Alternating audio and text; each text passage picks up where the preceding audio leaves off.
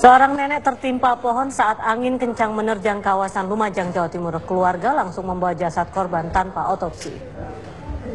Jasad pencari kayu bakar Suparti disambut isak tangis oleh keluarga di desa Wonorejo. Keluarga tidak percaya akan kepergian Suparti yang tragis. Korban tewas akibat kehabisan darah setelah kepalanya mengalami luka tertimpa batang pohon sengon. Sebelumnya korban pergi mencari kayu bakar bersama tetangga. Namun saat pencarian angin kencang datang dan merobohkan pohon. Korban pun tewas di lokasi kejadian.